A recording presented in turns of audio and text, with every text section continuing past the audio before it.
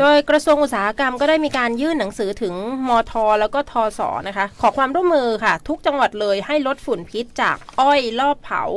พร้อมกับกังวลว่าปีนี้ตัวเลขอาจจะเพิ่มสูงขึ้นนะคะการรอบเผาอ้อยเนาะโดยรองปลัด กระทรวงอุตสาหกรรม รักษาการเลขาธิการคณะกรรมการอ้อยและน้ำตาลทราย หรือว่าสอน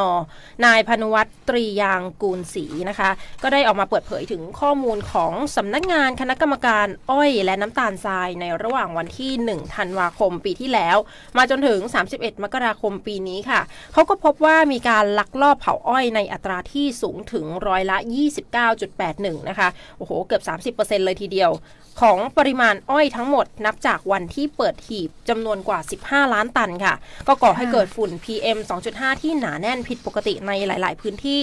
ส่งผลให้เกิดมลพิษทางอากาศทั้งในภูมิภาค และกรุงเทพมหานครนะคะ กระทรวงอุตสาหกรรมจึงได้มีการทำหนังสือถึงกระทรวงมหาดไทย และกระทรวงทรัพยากรธรรมชาติ และสิ่งแวดล้อมค่ะ เพื่อขอความร่วมมือในการบูรณาการทำงานร่วมกันในการขับเคลื่อน แผนปฏิบัติการขับเคลื่อนวาระแห่งชาติ การแก้ไขปัญหามลพิษ ด้านฝุ่นละออง พศ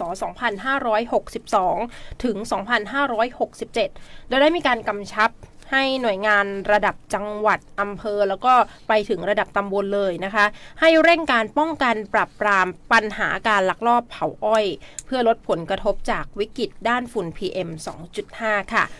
เพื่อให้บรรลุตามแผนการแก้ไขปัญหามลพิษด้านฝุ่นละอองในพื้นที่อย่างใกล้ชิดค่ะ ประกอบกับกระทรวงอุตสาหกรรมได้ดำเนินมาตรการควบคุมปริมาณอ้อยลักลอบเผาอย่างต่อเนื่อง ไม่ว่าจะเป็นการขอรับเงินสนับสนุนจากภาครัฐตามโครงการช่วยเหลือชาวไร่อ้อย ตัดอ้อยสดคุณภาพดีเพื่อลดฝุ่น PM 2.5 นะคะ การชดเชยดอกเบี้ยให้กับเกษตรกรชาวไร่อ้อยสำหรับบริหารจัดการแหล่งน้ำและซื้อเครื่องจักรกลการเกษตรในไร่อ้อย